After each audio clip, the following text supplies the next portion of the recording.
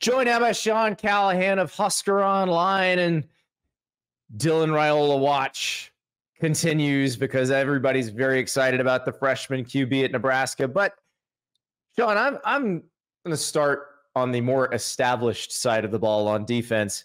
How how has Nebraska's defense looked through the first few weeks of practice? Well, I, I think it's a pretty good unit. You know, the the one question was uh, linebackers. They lost two veterans and Nick Henrich and and Luke Reimer, and and I feel like they've actually got a chance to be just as good or better with what they have in there. But their defensive line is strong. It's deep. They have all the veterans back, and then they have very good young talent. But Nash Hutmacher, Ty Robinson, Jamari Butler, um, you know, are all veteran fifth, six year type players in this program. And then on the back end of the defense in the three three five in that secondary, um, they have a really good group of seven or eight defensive backs that can play those five positions. Um, so I think it's a, a, a unit, you know, and it just depends on how some of these games go, but they can be easily a top 15 level national defense statistically, uh, especially with Tony White back. And I think John Butler coming in from the Buffalo Bills, as tough as that timing was, lose Evan Cooper, he's been a great addition, um, being the secondary coach for the number one ranked defense in the NFL a year ago. Well, and the Butler addition is a really interesting one because obviously the Cooper firing happened at a very inopportune time. But Butler's in a strange situation. He left the Bills because he got passed over for the DC job. He wants to be a play calling defensive coordinator and basically drop down a level because I, I would assume the idea is if he does well here and Tony White gets a head coaching job, he's probably calling plays for Nebraska and then he can prove himself as a play caller. Yeah, there's no question. I think that path was laid out, or he anybody knows that. There's really not a internal candidate on Matt Rhule's staff before John Butler got here. That's a slam dunk to replace Tony White. Um, Evan Cooper was always a name that you heard mentioned, possibly as he grew as a coach. Um, but you know, Tony White, when you look at it now, he was very close to becoming UCLA's head coach. After um, watching Big Ten media days, I mean, I think he would have been just fine on that podium and uh, would have given a little bit better of an opening address than Foster. But you know, he he was a candidate for the San Diego State head job. He was a candidate, obviously, for UCLA. Lincoln Riley knocked on his door to be his defensive coordinator at USC. And if he puts together another good year in Lincoln, there's no doubt his name is going to fall again on some of these head coaching lists. So let's let's transition to the offense because the, the defense feels like it is in very good hands. Uh, reading through what you guys wrote off the scrimmage on Saturday, it, it seems like the O line is is definitely not as deep as they'd hoped it would be. What what has been going on there? Well, they've had. I mean, they came into camp with seven linemen that have started Power Five or Power Four or Nebraska games. So that's a good number. I mean, yeah, hard pressed to find any programs that have more. Oh, you'll take it. And uh, after that, they lost one of those guys, Teddy Prochazka. He, he got out for the year, so down to six. Then uh, uh, one of their lower guys of that group, Henry Lutovsky, got hurt. He's out two or three weeks. They're down to five. Turner Corcoran, who missed last year for part of last season with an injury, he's back, but they're kind of limiting in his work. So they, they're playing with four of those best seven right now. And then I would say there's a fairly big drop off when you start to get to that next group because they're younger players that have not played Big Ten football, particularly at the tackle position. Uh, Gunnar Gottula and Grant Segren, two redshirt freshmen, have been getting live reps with left tackle, and they're going against a veteran defensive line of players in practice. So I do think that is the the concern. But if Turner Corcoran gets back, he started over 30 games in his career as a left tackle. They'll be fine. The right tackle, Bryce Benhart, has started over 40 games in his career. They brought in Micah Mazzccua, 30 some game starter, and he's going to be a guard. Ben Scott is a 30, 40 game starter at center they have a very good group. And then Justin Jenkins will be the other guard, and he played a lot and started some games last year. Then Lutovsky will be back. So as long as Corcoran can just give them a serviceable presence, I'm not saying they need this guy to be all world. They're going to be fine, but that that he's a big part of this discussion because I do think it's a significant drop off if Turner Corcoran is at all limited this year. Well, and so we went on over the show yesterday we were going over Deion Sanders' press conference, uh, which is, you know, a lot of it was just weird. But it, like if you read between the lines of that, you could tell he loves the defensive line, especially the edge rushers they have. And so when I was reading through your practice reports, I was like, ooh, that could be a, a, a pretty interesting matchup because like BJ Green, Dayon Hayes, Samuel Okunlola, very good group at Colorado if they can pick on somebody inexperienced at Nebraska. But like you said, if Turner's back, then that's probably not that big of a deal. But that that's a matchup to watch because I like my my read on that press conference was this is a guy who loves his D line and does not seem particularly confident in his O line. We, we, we just talked about Nebraska's D line. Like that, that could be a game where both quarterbacks are uh, are running around quite a bit. One and they have other like their tight ends are really good at Nebraska, so you know the, they can be creative and use those tight ends because they have three really good blocking tight ends, and they mm-hmm. have three running backs that have played a lot of football that are very good in pass protection. So um, I'm sure you can scheme it up um, if there's an issue there and you know Colorado is going to load up a left side or a right side and go after your tackle play, um, you know Nebraska's going to figure it out. And Dylan Raiola, one thing he's good at doing, I've heard, is checking out a place, throwing it away. He's not going to force much. Um, he, for a freshman, it's rare to have the maturity and the poise that he's already shown um, thus far in his career and practices. Well, and after the Jeff Sims experience to open the season last year, I'm sure Nebraska fans are are just they don't want to think about a quarterback throwing it willy nilly. Like they they need to know somebody's going to put it in the dirt if there's no nobody open. Yeah, just throwing it up to Tyler Nubin, uh, who was Minnesota's best player in the opener. I mean, Nebraska. You think about some of the games they lost. I mean, they had complete control. They forced PJ Fleck to throw it 35 times in the second half. That's the most by far he's ever done in his career because they could not run the ball. That's how well Nebraska's defense was playing in Minneapolis against a very run first offense that PJ Fleck operates with. But they still figured out a way to blow it with interceptions and a late fumble by Anthony Grant. Um, and that the season kind of uh, turned. I mean, even at Colorado, they had control of that game in the midway part of the second quarter. And then the, the, the turnovers came like, and the, yeah, the wheels just fell off at the end of the second quarter, and it looked like a completely different game after that yeah, the, the defense was playing physical. They sacked Shedeur Sanders eight or nine times. I mean, they they were they had the right recipe going in there, making yeah. Colorado play a Big Ten style of a football game. But when you turn it over two or three times quickly, like Nebraska did, you know, Shedeur Sanders and Travis Hunter and those guys, they, they were just too good. You can't give them that many free opportunities.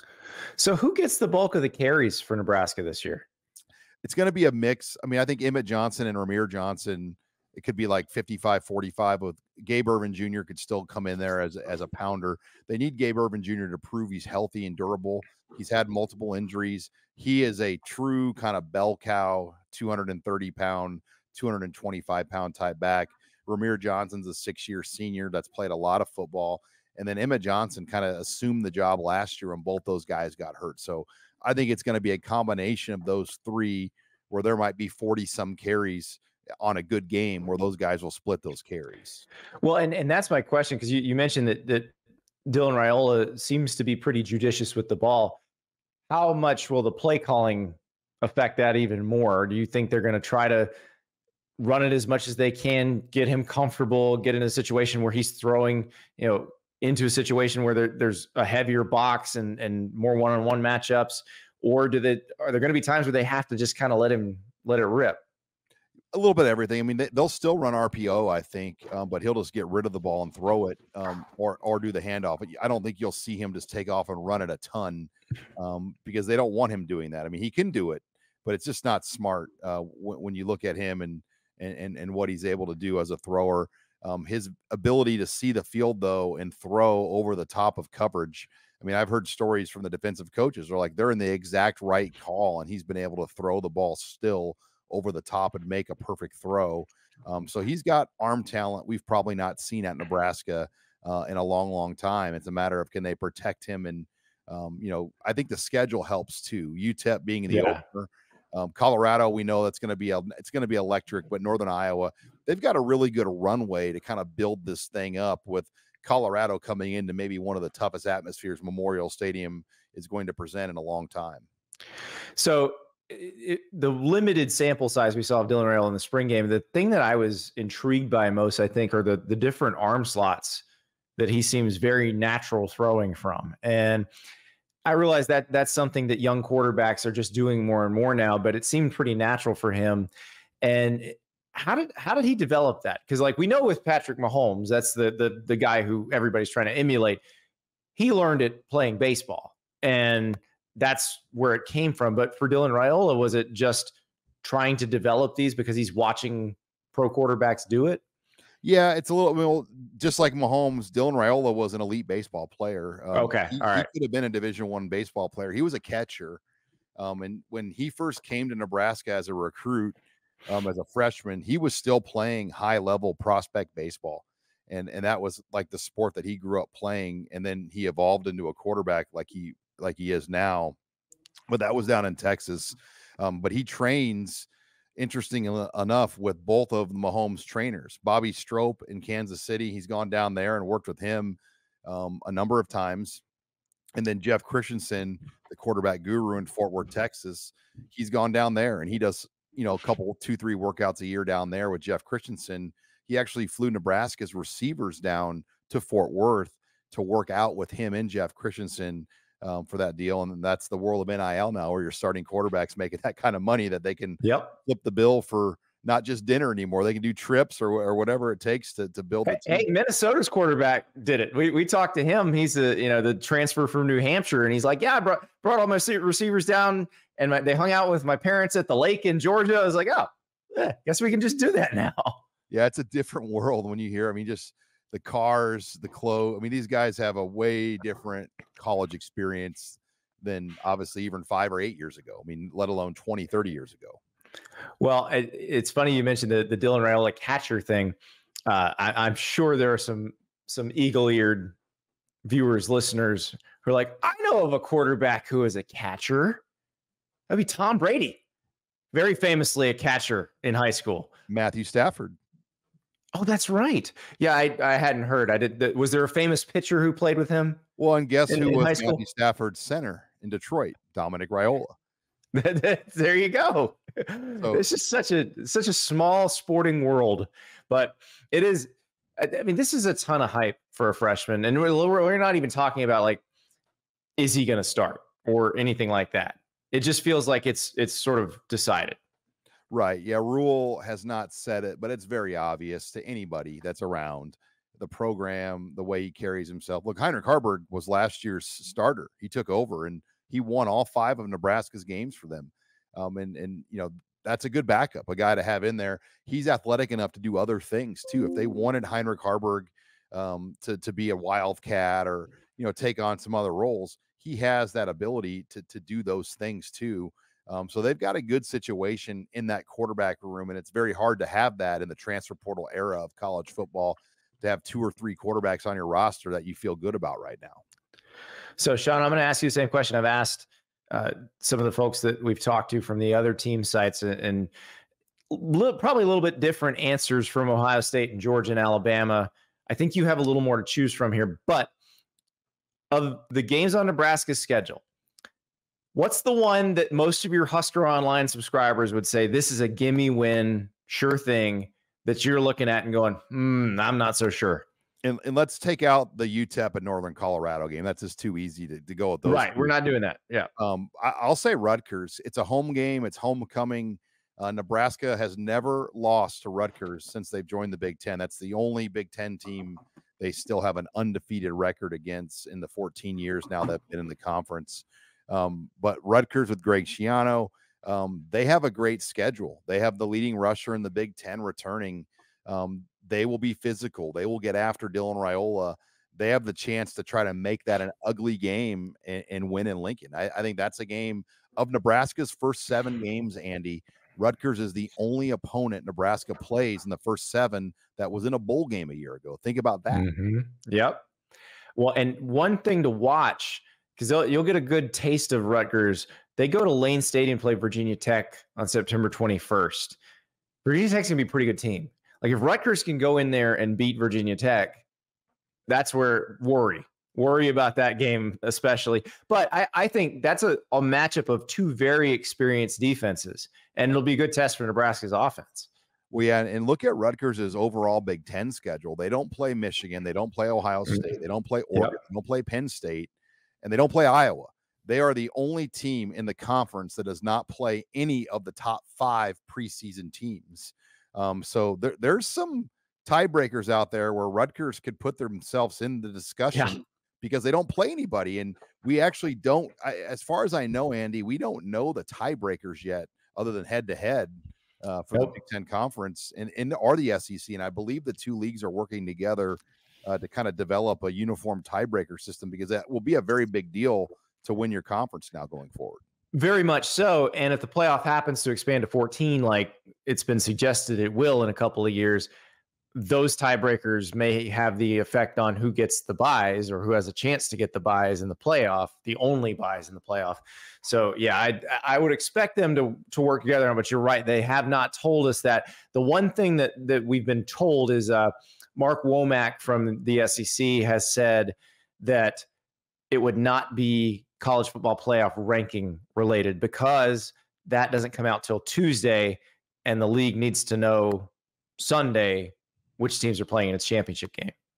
Which is interesting because like there's a scenario where Rutgers could easily go 10 and 2 and mm-hmm. they could be in a position where they're tied with some other teams. I mean, Iowa too. I think Iowa has a schedule that could vault. That, that's up. that's the one, Sean. I'm I'm curious about because I think the the Iowa Nebraska game at the end of the year for Iowa because they they do get Ohio State, but they don't get any of those other teams you talked about.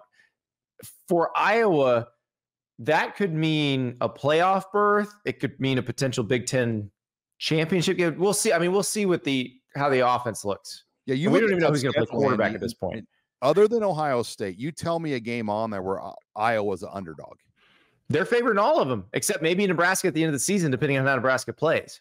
And and that game in Iowa City is going to be a night game on NBC, so it should really be some appointment viewing for a lot of fans to watch that game on Black Friday on NBC at night. Um, it, has got a chance to be a really great stage. It's usually been an 11 a.m. kind of a yeah. sleepy Thanksgiving hang- hangover. It's been the, the Big Ten Network's kind of signature game the last few years. Like they, they would, it would be on BTN on Black Friday in the afternoon, and that would be the the big one for BTN for the entire year and now we get Wisconsin and Minnesota on Black Friday as well as Ooh. Iowa, Nebraska. So it's a it's a pretty good slate. They're going to have two Black Friday Big Ten games every year, um, which I think will help the viewership of the Big Ten games that weekend because you know Minnesota, Wisconsin buried on the Saturday with Ohio State, Michigan. It, it was always kind of tough to get that in the schedule. Well, and that's been a fun one the last couple of years. When, when like when Minnesota a few years ago finally broke that streak against Wisconsin, it it got buried by other games that are going on in that giant rivalry Saturday. So that that is a really good spot to put that game in. Uh, but yeah, the and I'm I'm glad that I think was it Shawn Eichorst who was going to try to move that game off of uh, off of Black Friday. Uh, I'm glad that the Nebraska fans rose up and made sure that didn't happen. I mean, that was a he pretty much that was one of the things that pushed him out the door. That decision to do that, and if not for COVID in 2020, when because they were supposed to play Minnesota on Black Friday in 2020. Uh, that had been arranged, uh, but then because of the schedule changes that happened in 2020, they were able to kind of alter it to allow Nebraska and Iowa to play Black Friday in an empty stadium in Iowa City that I was at uh, for that game. So um, that yeah, it's a big deal. I mean, Nebraska and Iowa, this will be the 14th year in a row they've played on Black Friday, and Nebraska has a history of playing on Black Friday and Thanksgiving that goes all the way back to Oklahoma. Yeah, I, I can't wait for any of this. I, I just the the the newness of it all and seeing these different matchups. Like the idea that Nebraska plays USC in a conference game this year in the Coliseum in November is wild to me. And I, I personally like I love the time of year they drew this game because usually you're playing in Madison on that day for Nebraska. Yeah. Somewhere.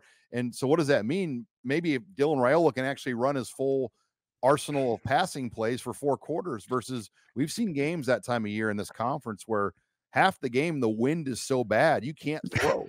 yep. Well, and and Nebraska does not have to go to the uh the new makeshift stadium at Northwestern, which speaking of the wind, that one like God bless any quarterback who has to play a game in that stadium. It is like Lake Michigan is 25 yards away. They're gonna like let kids fish during the game or something. off the show. it's gonna be awesome. Like it, I, I selfishly would like the game is there. Like Wisconsin Northwestern is at that stadium. I would love to see Nebraska play there just to see how their fans would take over this thing. Oh my god, it would be incredible because I think it, it's going to be like fifteen thousand seats, twenty thousand seats. Yeah, it's uh, and and it's at least two seasons they're going to be playing in this thing, right?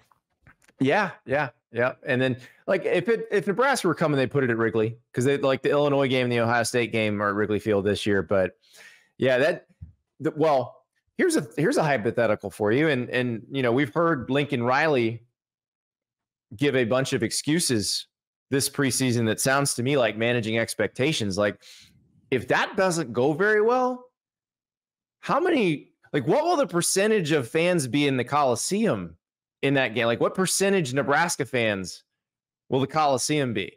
Oh, I mean, if the last time Nebraska played there, which was Bill Callahan in 2006, there was 25,000 plus Nebraska fans. and USC was awesome then. And that was Pete, that was Pete Carroll, you know, a young yeah. Ndamukong Suh playing for Nebraska and Marlon Lucky. And I mean, that, that, that was one of my favorite games I've ever been to, just the amount of people that traveled. But anytime Nebraska's played in one of these new Pac 12 teams that have come in, they generally take 20 to 25,000 fans on those trips because there are so many Husker fans that are on the West Coast and this is their one game they would generally go to. Well, I that I'm fascinated to see where that because that, that could be if USC's defense is better, then you could have a USC that is competing for a college football playoff berth that is is riding high where the the atmosphere for that game will be off the charts. Or if it goes badly, it could be all Nebraska fans, and that will be just as weird. Yeah, I I'm interested in their quarterback situation because I do think the kid they brought from UNLV is a good quarterback, and it would not surprise me if if he ended up at some point taking that job over there. Well, I think that's why he came because yeah, my uh, Maiava was very good for UNLV last year, and you Miller Moss looked awesome in the bowl game. He looked in command, looked like he had the respect of his teammates, all that stuff. But that's one game, and we don't know where Louisville was at in that game. So we, we kind of need to see it. They're playing LSU. They'll play Michigan early, so we'll we'll have a pretty good idea early where USC is on all this. But but yeah, that that is interesting because Maiava, remember, was committed to Georgia for a minute and then flipped over to USC, even though that job didn't seem open. So that, that tells you maybe there's a possibility. And I, I, there's some coaches I know in the Mountain West, and they said Maiava was the best player in their league in terms of like upside and, and long term. So it's no mistake that USC and Georgia were the two teams, and I think Miami um, kicked the tires on him as well. And I mean, he, he um, played their bowl game though, which was kind of a surprise because uh, it looked like he was going to leave before their bowl and played the bowl, then then went in the portal. Yeah, I, I am very interested to see how some of these QB situations shake out because they they've not they seem clear now, but after a couple games they might get muddy. Uh, meanwhile, Nebraska, do, do you expect Rhule to name Raiola the starter, or do you expect it to just be he comes out in the UTEP game? So I think they'll name, they'll put a depth chart out as my guess, but they'll have one more week of training camp this week. And it wouldn't surprise me after this week if they kind of define things a little bit clearer. Um, you know, you don't have to worry now about players transferring in August. I can remember when Scott Frost really battled. do I name Tristan do I name Martinez the starter over Tristan Gebbia when do I do it well he did it at the absolute latest you could the the the Sunday or whatever before the game against Akron well Gebbia was in the portal the next day and there was yeah. enough time for him to get to Oregon State and leave you can't do that anymore um, so right. that is one advantage the coaches have because you used to have to kind of worry about there was time for guys to go in the portal and land somewhere and preserve their eligibility, especially if a school was in the quarter system. Tristan Gebbia, by the way, whose college career ended last year at Ohio State. He's older than us. I mean, that guy, I mean, he, literally um, was at Nebraska um, back in the Mike Riley era. I, he's got to be a doctor by now. That's all I know. it's incredible. Sean Callahan, thank you so much. Hey, thank you, Andy. Thank you so much for watching. Just a reminder subscribe to this channel right here so you never miss an episode of Andy Staples on 3. And oh, by the way, watch all the other great videos on the On 3 Sports YouTube channel.